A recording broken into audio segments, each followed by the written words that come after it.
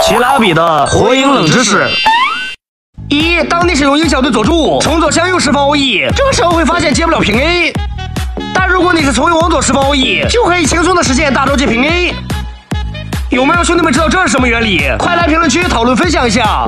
二，蝎的傀儡里有很多沙铁，所以当你使用蝎不断的平 A，会有一定极小的概率蝎的傀儡会被沙铁卡住。好家伙，这也太真实了吧！这一波不能叫游戏漏洞，这个叫游戏机制。这个估计很多人都不知道，新春九系列的二技能是可以挡掉很多技能的，让我来示范一下。嗯，失误了，小问题。我们可以看到这里，成功格挡了面具男的一口火。同样，像绘图二代的飞雷神，也可以通过格挡强行改变他的方向，或者像宇宙波鼬的分身，也可以使其提前引爆，真是一个上分小技巧。